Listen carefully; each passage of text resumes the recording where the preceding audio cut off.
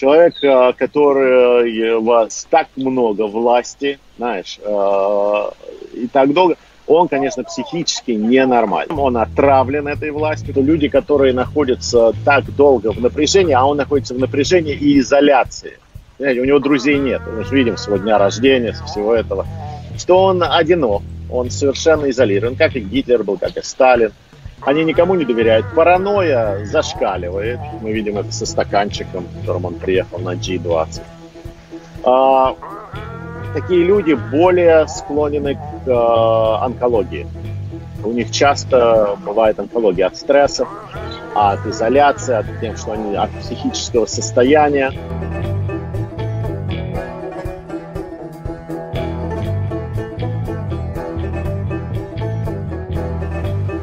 Здравствуйте, уважаемые зрители канала Sobi News. Мы рады приветствовать нашего друга из Соединенных, как вы видите, Штатов Америки. Это капитан первого ранга ВМС США в отставке Гарри Юрий Табах. Здравствуйте, Гарри. Добрый день, Украина. Я говорю с вами из э, севера, с севера Майами. Погода хорошая, море теплое. Водичка, водичка теплая, да, купаться можно, отлично. Но э, на другом конце света, к сожалению, не так все спокойно. И мы, конечно же, сегодня хотели с вами поговорить в теме, о теме, которой вы разбираетесь. Это что именно сейчас происходит в Сирии. Тем более э, средства массовой информации путинские, они во всю глотку орут, что там сирийцы с россиянами победили американцев, они выгнали их из казарм, американцы панически бегут и при этом рисуют символы СССР на, на стенах этих казарм.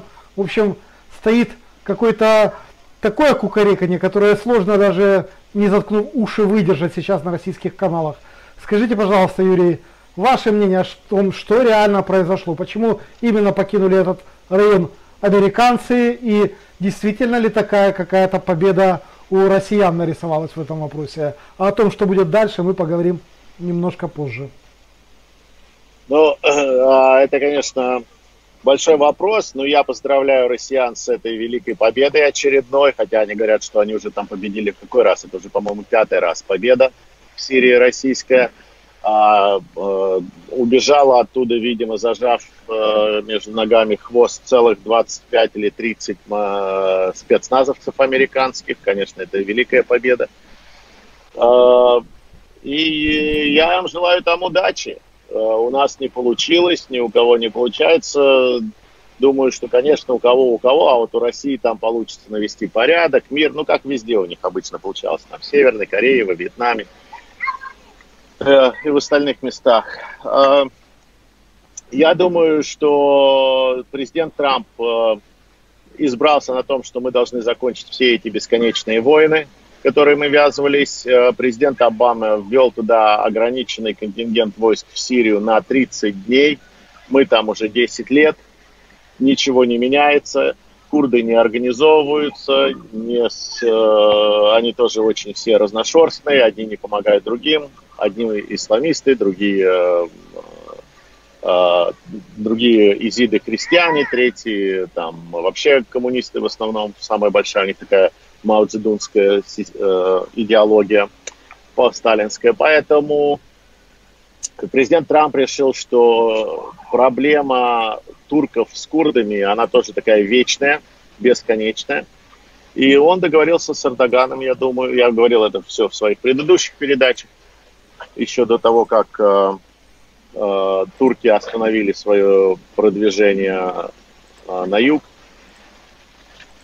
Потому что они договорились, что создастся эта буферная зона, потому что турки, правда, уже много-много лет, и даже когда я был в Турции, это был самый болезненный у них вопрос с курдами, с терроризмом, который исходил от курдской а, рабочей партии, которая также и считается террористической организацией ООН, и у нас в Госдепе тоже ее считают это абсурд, террористической организацией. Абсурд состоит в том, что мы как бы, а, с одной стороны, говорим, что это террористы, а с другой стороны как бы их поддерживаем.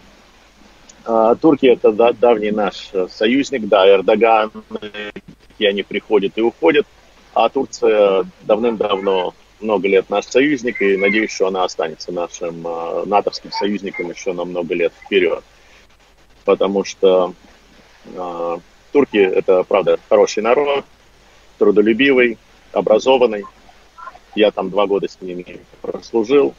Э, к сожалению, все генералы и адмиралы, с которыми я служил в тюрьме, после того, как Эрдоган пришел, к сожалению, мы не поддержали их конституционное право на армию, чтобы армия взяла власть в свои руки, если исламисты приходят в Турцию, это происходило три или четыре раза, потом армия передает это обратно в гражданские руки.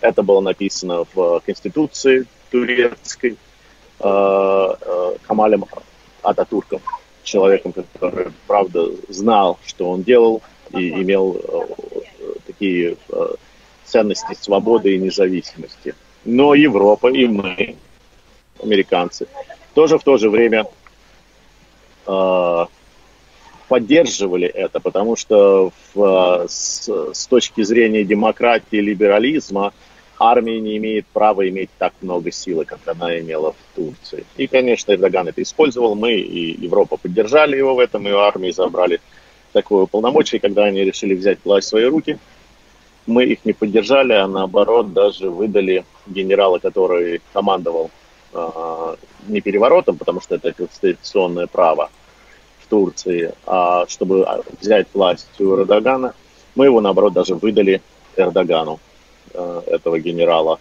молодого. Так что э, ситуация такая. Но россиянам я просто хочу сообщить, россиянам, украинцам, ну всем американцам, сказать, что ну нету победителей в войне. Что значит мы победили? Не победили в войне, есть те, кто выжили, а кто не выжили. Я думаю, что Эрдоган сказал э, Трампу, что он все равно войдет э, в курдскую часть Сирии и сделает эту баффаную зону и разбомбит. Э, и Трамп не захотел э, приносить в жертву этих 50 или 30, там разные, говорят, зеленых беретов и вывел их оттуда. А, потому что думаю, что все равно бы а, турки атаковали, потом сказали, извинились бы перед американцами, такое бывает, и израильтяне такое сделали один раз во время войны, разбили наш корабль, топили, когда им сказали убраться, а мы стояли. Война есть война. И э, турки бы это все равно сделали. Турецкий народ это поддерживает, для Эрдогана это такой Крым наш. А, для турецкого населения, когда ты говоришь курды, это примерно как э, в России, когда говорят чеченцы, там, души. Это да, надо их разбить, уничтожить, неважно, что там разные, разные есть люди, разные движения, разные... Ну, вот такая вот сложилась ситуация. К сожалению, сегодня мы ведем войны так, что черт разберется, кто прав, кто не прав что есть, чего нет, на чьей мы стороне, против кого мы воюем, с кем мы воюем.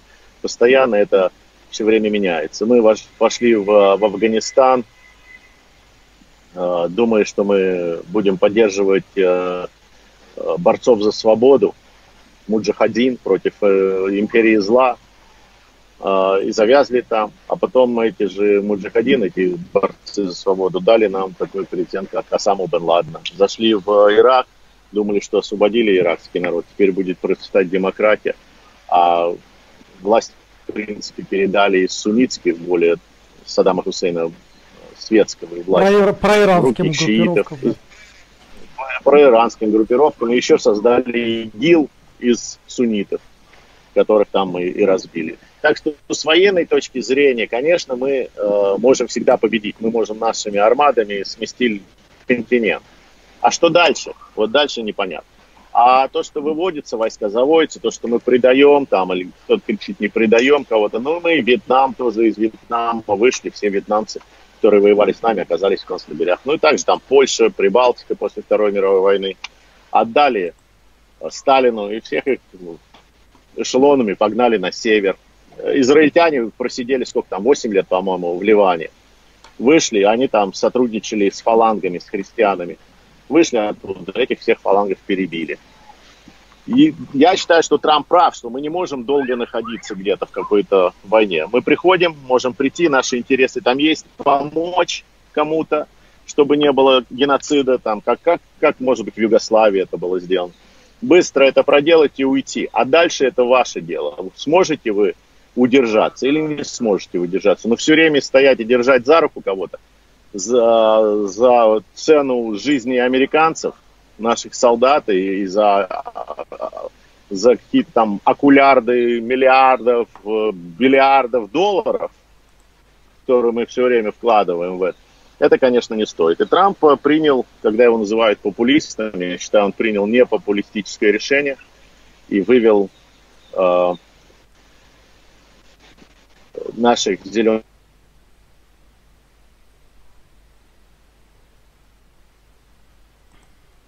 из Афганистана наши войска. Вы там разбирайтесь, там не только наши интересы. Где Европа? Где остальные? Почему Европа все время только кричит и говорит, да-да-да, зайдите американцы, как в Югославии. Где Америка? Складывали трупы перед нашими посольствами. Где Америка? Америка, Америка приходила. Они, Европа, ничего не делали, ни за что не платили, но потом критиковали Америку очень свободно. Ну, они же смелые. Вот критиковать Америку за все эти действия, это уже очень смело. Ну, как и Россия делает. Я знаю только что, что я поздравляю тех, кто думает, что Россия принесет им мир и спокойствие, что посмотрите исторически, куда она ее принесла. Ну, а... что поделаешь. И Украина, я всегда говорю украинцам тоже, я говорю, Украина тоже должна начать. Да, мы поможем, да, мы придем, да, у нас есть интересы с вами сотрудничать и с вами быть стратегическими партнерами, но не все время. Не все время платить за вас, не все время спасать, не все время стоять и охранять ваши границы. А, это большинство зависит от вас. Так же, как Израиль этому научился очень рано, еще в 1948 году, во время войны независимости. Они поняли, что им никто не поможет. Да, сейчас президент такой, Труман хороший, он нам помог. Потом президент Обама, он нехороший, он нам не помог. То же самое с Украиной будет. Да, сейчас Трамп, он хороший, он вам поможет.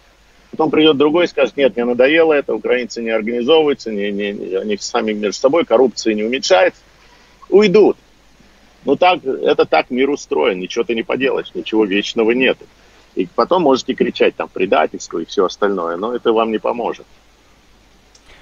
Скажите, пожалуйста, Гарри, приезжала Пенс в Анкару и договорились о том, что действительно будет 30-километровая зона, и э, турки, в принципе, добились своего, но, с другой стороны, было решение конгрессменов США, председатель комитета по иностранным делам Сената, сказал, что э, он и другие, другие э, депутаты, другие сенаторы направ, представят законопроект в связи с операцией Турции на северо-востоке Сирии, который будет включать новые санкции как против Турции, так и против России. Ну, такой странный парадокс. И причем э, Пенс потом заявил в Анкаре, что никаких санкций не будет, что они договорились, но тем не менее депутаты сегодня снова подтвердили, что они будут настаивать на этом законопроекте. Как вы думаете, какое будущее все-таки в отношении Турции и США, тем более с учетом того, что и Трамп обещал, если Турция будет э, сильно упорствовать в своих кровавых замыслах, просто разрушить экономику Турции. И вот это вот письмо, которое Эрдоган выбросил э, в урну, где Трамп его там чуть ли не дураком обозвал. Будущее отношений, как вы считаете, Турция да, и США, нас, какая э, перспектива? У нас Трамп, он президент не очень больших любезностей. Я думаю, что перспектива у нас в Турции очень хорошая. Опять же, Эрдоган не популярен в Турции в самой. Такие, как Эрдоганы, приходят и уходят. Э, Турция все равно довольно-таки демократическая страна. А, экономика в ужасной ситуации. Народ там винит в этом только Эрдогана, поэтому ему нужен был вот этот Крым, как бы курдский Крым. Сработает какое-то время, потом перестанет, потеряет это свою силу с Трампом э, они договорились, это, конечно, понятно. Трамп всегда говорил, что он переговорщик. Э, и э, когда Трамп с ним договорился, он его, конечно, держал за очень такие деликатные места, потому что мы, правда, можем обрушить экономику Турции. Более того, мы можем сделать так, что я опять же говорю от себя, это мое мнение личное, не, не Пентагон и не Госдеп.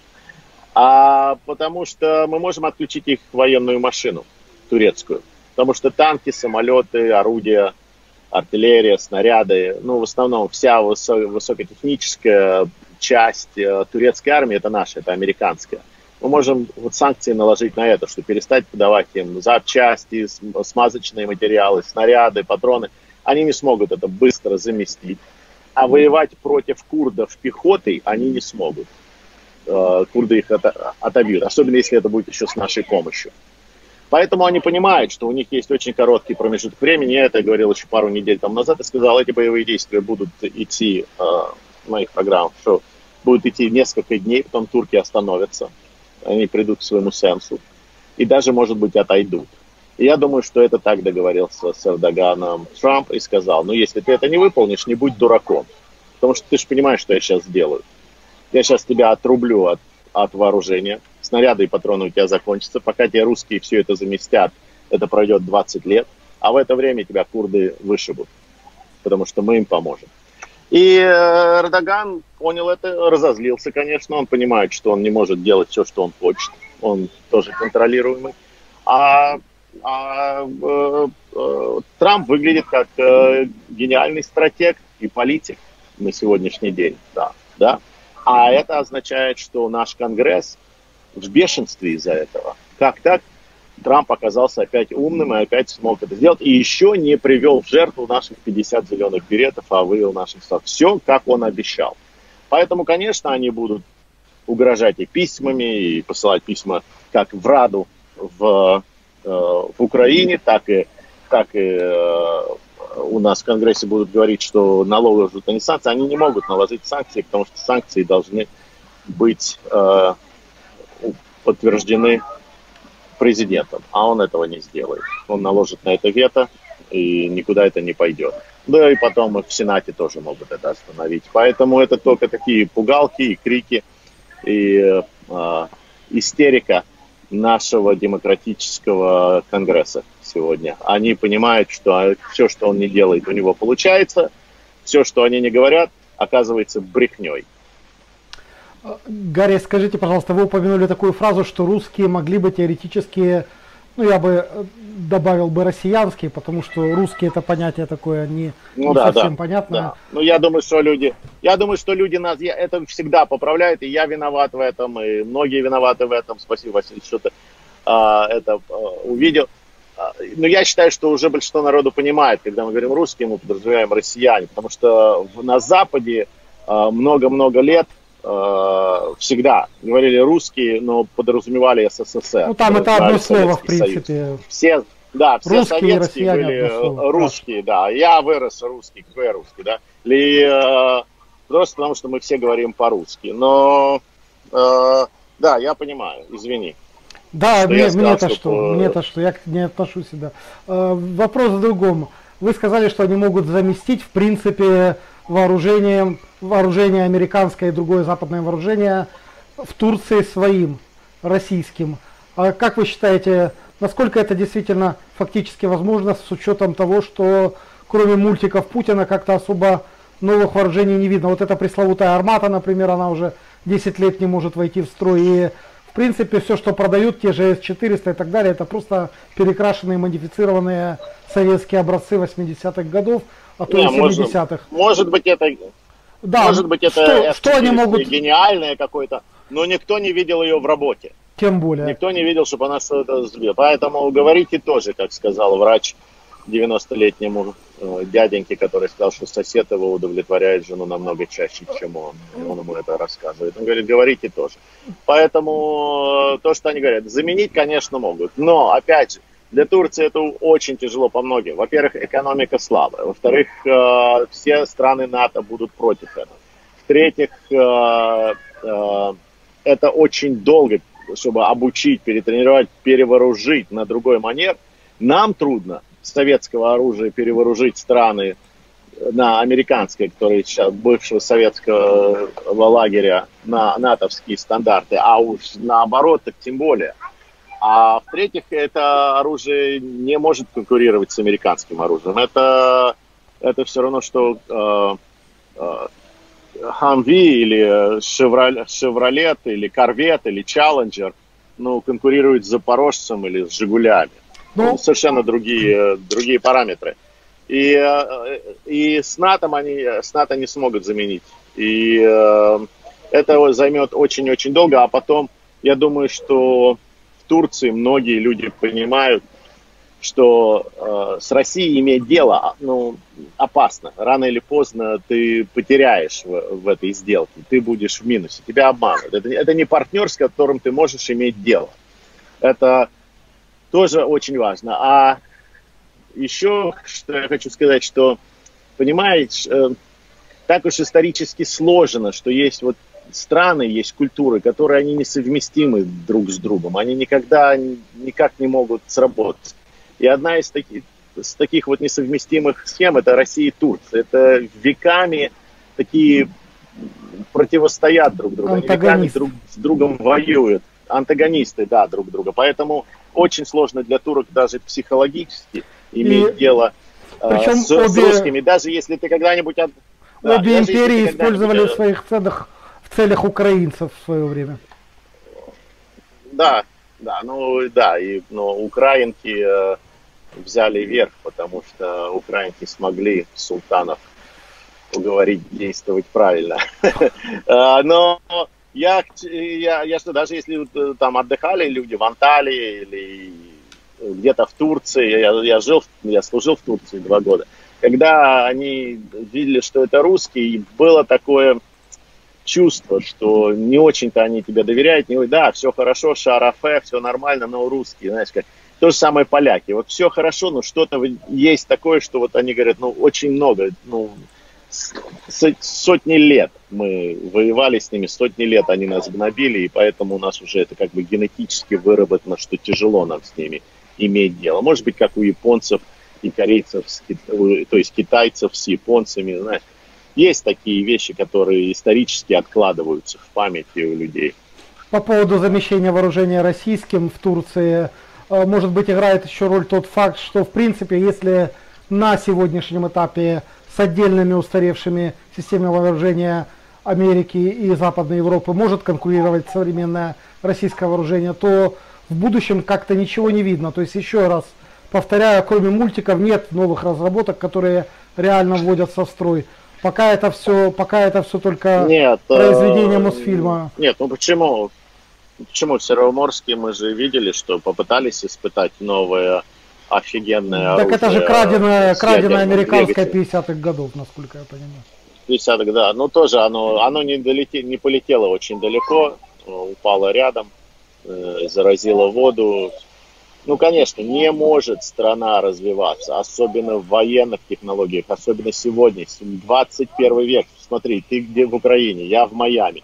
Мы с тобой развиваем. Ты понимаешь, какая технология, какие, какие, какие высокие технологии сегодня работают. Через, это же через космос. Через все. Мы в реальном в, в реально виртуальном мире с тобой сейчас находится. Поэтому не может какая-то страна, которая изолирована, которая санкционирована по, по, по, высоким технологиям и всему такому, развивать свое современное военное оружие. Какие бы гении там не сидели. Америка не может этого сделать без помощи Японии, без э, программистов с Израиля, программист с Украины. Знаешь, даже этот iPhone, он создан в Америке или управляется Америкой, собран в Китае. А программы в нем израильские и украинские, эти applications все стоят. Ну, невозможно. Не, не может какая-то страна, даже опять же, как Америка, создать это одна. А Россия сегодня изолирована всем миром. Ну что она может вместе Северной Кореи или с Венесуэлой или с той же Сирии что-то создать. Вот это ее партнеры. А, извини, еще, еще, э, еще Палестина тоже, автономия палестинская, тоже союзник. Э, Хазбулла, э, их Хамас. Не, ну там если покопаться, что-то в Африке еще найти можно, наверное. Они, наверное, могут какой-то жилет, который взрывает самого себя, ну, поделиться с Я Россией имею в, виду в этой технологии. Но союзников, все. да, можно да. и в Африке поискать. Если хорошо постараться, может быть, парочка Дальше. стран. Да. да, да, я хотел бы узнать... Дальше, ну, поэтому... Да. Продолжайте, продолжайте. Поэтому я говорю, что если вы посмотреть вот так, э, что происходит в мире и вообще исторически, что задается то это можно видеть, что как только Украина, а я считаю, что в Украине это уже происходит, экономика э, станет улучшаться. когда у Украины будет очень много партнеров по всему миру по бизнесу. А я вижу, ну вот я, ну, я дилетант, конечно, но я вижу, что строительство идет в стране. Там, где я живу, в Киеве, ну понятно, что это центр, ну, магазины, рестораны, все время что-то открываются, какие-то бизнесы. Одна иностранная речь на улице. Поэтому уровень жизни начнет повышаться. Я надеюсь на все на это. Что еще будет, да, меняем, меняем власти, конечно. Но как только уровень жизни начнет улучшаться, как это произошло в, в Грузии, как только начнет жизнь лучше и свободнее быть, ожидайте террористических актов. Будьте готовы к террористическим выходкам. Да, к сожалению, это, так, как это, это вероятно, к сожалению. Будем надеяться, что этого не будет как можно дольше, и если и будет, то как можно меньше. Но хотелось бы вернуться еще к военным технологиям и узнать ваше мнение по следующему вопросу. Вот сегодня, например, министр иностранных дел Украины Пристайко заявил о том, что, а, оказывается, ведется за приграничными российскими войсками спутниковое наблюдение Украины совместно с НАТО. И, в принципе, какое-то время на упреждение удара у Украины и у ее партнеров, если они тоже будут в этом участвовать, будет. И в этой связи я хотел бы немножко о другом все-таки спросить. Это было как новость, а э, не знаю, насколько там эффективное сотрудничество, но тем не менее министр об этом заявляет. И в связи с этим у меня вопрос к вам. Мы тут сделали несколько передач о теме психического состояния и здоровья Владимира Путина, и некоторые эксперты говорят, что есть достаточно свидетельств и материала о том, что у него онкология. Даже если это не так, в любом случае такую вероятность нельзя исключать у любого мирового лидера, тем более у такого, который ведет захватнические войны. Как вы считаете в связи с этим, Юрий, если человек узнает, что у него четвертая стадия, что его осталось там жить пару месяцев, не взбредет ли ему с собой в голову утащить мысль весь наш шарик и не запустить все свои ракеты? И если это такая вероятность хоть какая-то есть, насколько технически к этому готовы. Я понимаю, что есть какие-то военные тайны, но тем не менее. Насколько в Соединенных Штатах сейчас ведутся разработки по упреждению и недопущению долета э, ядерных вундервафлей Путина э, до вашей прекрасной Флориды? Спасибо, да. Я думаю, что у нас всегда ведутся такие разработки, мы всегда хотим себя и наших партнеров э, ограничить от этого, уберечь от этого. Э, я, конечно, не знаю, насколько у нас это все развито, но я знаю, что технологически Россия довольно-таки отстает. Э, много технологий, когда мы уничтожали старое ядерное российское оружие, мы платили, чтобы они создавали вот это новое, более безопасное. Может быть, мы там запрограммировали какую-то кнопку, где мы нажмем, и оно не полетит. Но я не знаю. Надеюсь на это.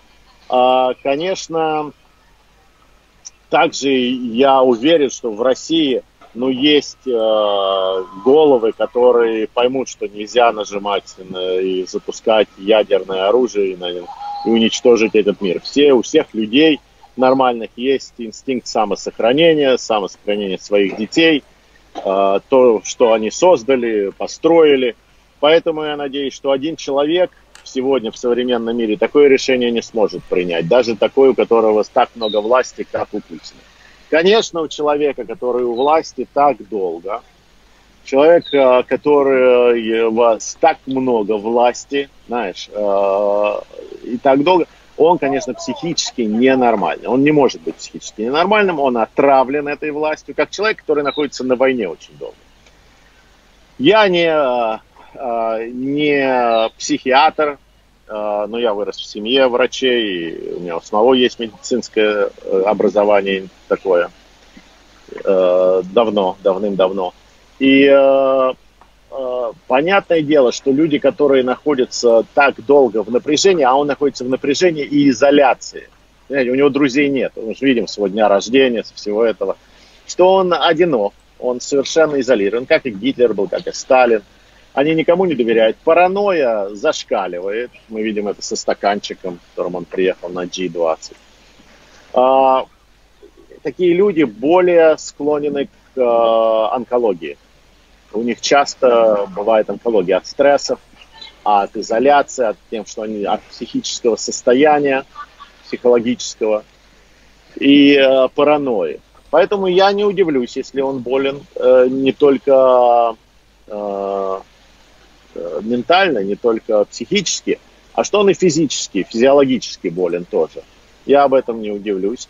Э, я никому не желаю смерти, но если э, он склеит ласты, я плакать не буду. Э, Юрий, я вижу, вы на ногах... Хотя, ты знаешь, извини, Василий, Василий, извини, извини, пожалуйста, но это не первый раз, что я слышу, что у него онкология, что он умирает. Это еще где-то лет 10 тому назад началось. Особенно, когда он пропадал из эфира там на несколько дней, а слухи такие распространялись. Поэтому я не знаю, насколько это правда, насколько это неправда, но веро, веро, мы все живые люди, мы все ходим под Богом, вероятность такая может быть. Э, я вижу, вы на ногах, Юрий, поэтому, хотя у меня еще масса вопросов к вам, но я думаю, мы отложим их на, на следующий я раз. привык.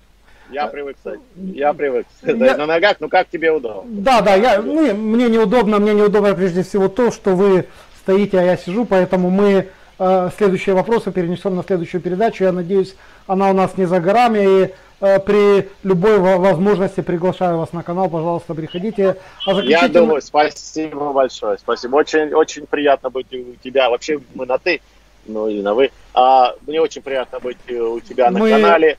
А, правда, я его сам смотрю, я редко смотрю какие-то каналы, потому что даже у меня времени не успеваю. Но вот твой канал смотрю, правда, очень интересный, очень э, тема информации. И я уверен, что мир сегодня создан так, что новая тема у нас появится через 2-3 дня. Э, Они да, не умирают. Да, уважаемые друзья, тут э, я просто объясню это недоразумение. Вне эфира мы на ты. Э, в эфире я называю всех своих, без исключения даже самых близких знакомых на okay. вы. Это привычка такая просто, поэтому... Э, я Хорошая в, привычка. Я, в свою очередь, хочу, уважаемые друзья, вам сказать, уважаемые зрители, что внизу ссылка на канал Гарри Юрия Табаха. Пожалуйста, подписывайтесь, ведь вы сами только что лишний раз убедились, Спасибо. что есть что послушать. Проходите, пожалуйста, ссылка внизу в описании. И заключительный вопрос, он будет касаться, как это не удивительно, но новости по поводу американского, американских еврейских общин. Э, группа ортодоксальных евреев из влиятельной общины, американской общины Мапитом обратилась к Соловьеву, к Владимиру Соловьеву с просьбой поменять свое вероисповедание с иудейского на какое угодно любое другое. И там фраза, это журнал National Interest, пишет, что э, там фраза есть, в истории иудеев еще не было подобных вам существ. Вот такой серьезный на, наезд на товарища Соловьева. Но... И в связи с этим вопрос, Юрий, Скажите, пожалуйста, как вы думаете, э, долго ли нам еще ждать э, судебных процессов и посадок вот этих мудаков, э, Пушковых, Соловьевых? Они, они, они не понимают, что когда Нюрнбергский процесс был, там расстреляли не только тех, у кого была кровь на руках, а еще тех, у кого была кровь в голове. И самый главный пропагандист, который был как бы журналист, комментатор газеты э, нацистской, которая вот проповедовала все время ненависть ко всем, и его расстрел... повесили. Его тоже повесили, этого главного редактора. Хотя он, ну, например, мы, говорил, я же Мы оба инститивно к шее дотронулись. Да, и поэтому они этого не понимают, что к ним придет наказание, и э, очень серьезное наказание. Поэтому я им тоже говорю, перестаньте мне звонить, писать, как вы меня любите, предлагать мне там деньги, предлагать мне гостиницы и полет в России. Я на ваших каналах выступать не буду, я не дам вам легитимизацию, я не буду даже к вам близко не подойду. Я не осуждаю других э, журналистов, которых я очень уважаю, которые выступают у них на канале, но я не буду. По, э, по, ну, это не мой бизнес, я не, я не, не, не журналист, не комментарий, я простой военный человек в отставке поэтому это не, не мое. А, а насчет Соловьева я скажу, к сожалению, а, как бы сказать, я не люблю ставить людей в какие-то категории а, национальности, религии или еще. У нас у всех есть и хорошие, и плохие, но почему-то вот в моем, в моей крови, если уж гений, то гений хороший, а если уж гений плохой, то уж самый плохой. И когда-то евреи пришли э, э, к Беренштейну и сказали, Рэб Беренштейн, не делайте этого, не надо, это нехорошо, это очень плохо отражается на нас. Ну, не надо, наша община не то, что вы выставляете. Он сказал, я не Рэб Беренштейн, а товарищ Троцкий.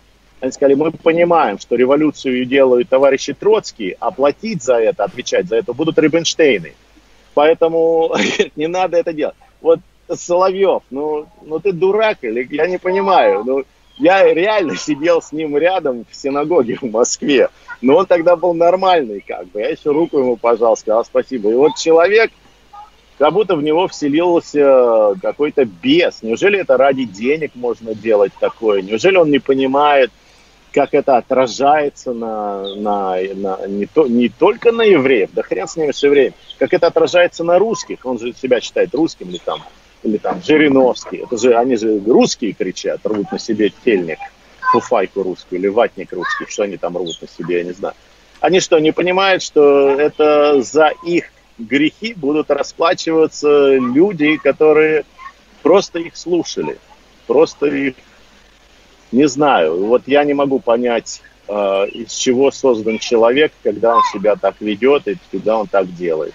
А то, что еврейская община написала ему и сказала, слушай, вали от нас, мы не хотим с тобой быть ассоциированы. Так это не первый раз евреи это делают, и я думаю, это делают не только евреи. Я, я например, э, близок с э, одной из э, тейпов чеченских, которые то же самое, они говорят, ну, Кадыров, это не мы, он не чеченец, это не мы, это нельзя нас ассоциировать с ними. Это совершенно это уроды, которых нет ни национальности, ни религии. И я не помню, кто это сказал, но кто-то сказал, что Сталин был не грузин, Хрущев был не, не, не украинец, э, Троцкий был не еврей, Микоян был не армянин. Это люди, которых национальности нету. Их нельзя приписывать какой-то национальности. Это бесы, просто бесы, для которых человеческая жизнь ничего не стоит. Я считаю, что это правильно. У таких людей национальности быть не может. Или религии. Э, кстати, хотел бы по Или этому... веры. Хотел бы по этому поводу сказать и своих два слова. Дело в том, что тому явлению, которое упомянул Юрий, что в их народе есть э, масса талантливых людей, и э, это объясняется все с чисто научной точки зрения, тут никакой мистики нет, никакой там конспирологии. Дело в том, что за многие века гонений по Европе Естественно, в генетике этого народа скопилась быстрота, молниеносность мышления, логичность и так далее. Людям просто нужно было выжить. Вот именно этим это, я думаю, объясняется. Спасибо вам большое, Юрий. Я думаю, что у тебя, я думаю, что у тебя это в генах тоже есть, потому что мы попрощались с нашими зрителями уже где-то 15 минут тому назад, а программу никак не заканчиваем. Ну, да, да, я извиняюсь. Спасибо большое, спасибо большое. С нами был Гарри Юрий Табак его ссылка на его канал в описании. Всем удачи и добра. Мир дому, мир дому вашему, мир дому вашему.